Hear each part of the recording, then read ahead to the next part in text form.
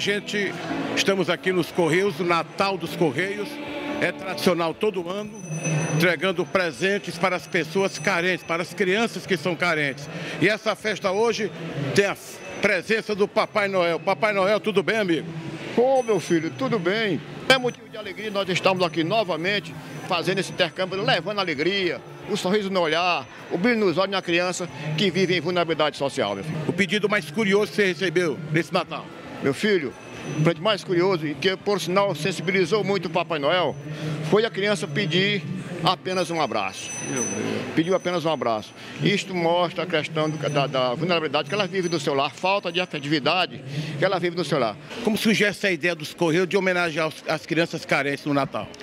Bom, galera, essa, essa é a iniciativa já de 27, nós estamos na 27 edição, a, a oportunidade que a gente é, consegue externar a nossa gratidão pelo trabalho que a gente tem e de forma, é, de forma solidária levar alegria para a criança, principalmente as crianças que vivem em situação de vulnerabilidade.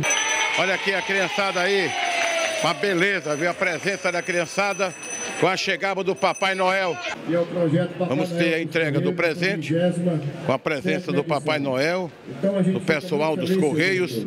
E é importante que façamos esse registro, porque na realidade as crianças carentes precisam de paz, de presentes e de uma, uma educação adequada. Viva o Natal!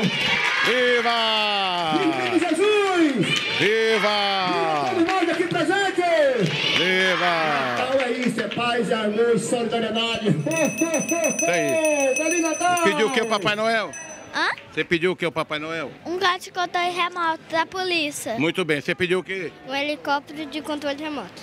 Meu filho pode ler a cartinha pro Papai Noel? Pode. Lê a cartinha aí, vai lá. Querido Papai Noel, meu nome é Luiz Felipe, eu tirei 10 na prova de matemática. Na de português e ciências eu tirei, eu tirei 9. Eu fui um menino muito bom e eu gostaria de ganhar um helicóptero de controle remoto. Sou muito inteligente, eu gostaria de ganhar um carro de controle remoto da polícia. Papai Noel vai entregar agora os presentes. Aqui o presente. Trabalho dos Correios que devia ser imitado por muita gente que não dá nada para as crianças carentes. Então está aí um trabalho importante que tem que ser registrado pela boa imagem do Piauí, a sua TV Cidade Verde. Então é uma festa que merece os aplausos pelo trabalho realizado pelos Correios em todo o Piauí. Fica aí o registro e a certeza de que essa festa vai se repetir por muitas vezes com um trabalho eficaz, um trabalho realmente importante dos Correios em prol das crianças carentes, aquelas que não têm condições de comprar um presente.